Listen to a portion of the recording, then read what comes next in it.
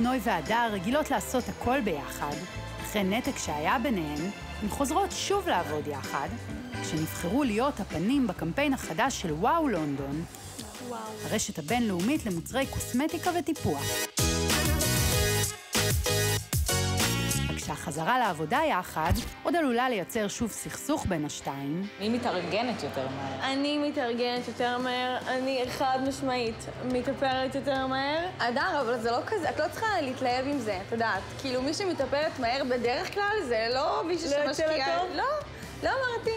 אבל את יודעת, אני אמנם לוקחת את הזמן שלי, וזה יוצא בטוח טוב. מה המוצר שאתן לא זזות בלעדיו מהבית? אני תמיד שמה את השפתון הזה בתיק, הוא פשוט מאבד את השפתיים ונותן תחושה של מנטה כזאת אה, מעצצת כזה. כזה. אני מאוד אוהבת את הקיד גבות, אני אוהבת שהן מאוד מסורקות כלפי מעלה. לכל אחד יש את תיק האיפור שלה. אני אגיד לך מה, בכל פעם שאנחנו מתראות, התיק איפור שלי משתנה.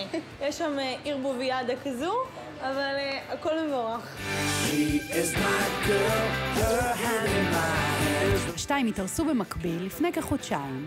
נוי קיבלה טבעת מבן זוגה בשקיעה, כשבאותו הזמן, לא רחוק משם, על יאכטה בלב ים, גם אחותה הדר אמרה כן. מאותו הרגע השתיים מוצאות את עצמן מתעסקות בחתונה, גם מבלי להתכוון. יואו, איזה יפה!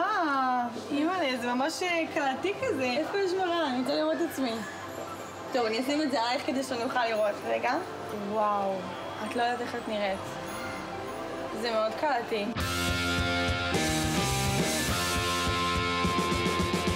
עם או בלי איפור, קשה מאוד להבדיל ביניהם.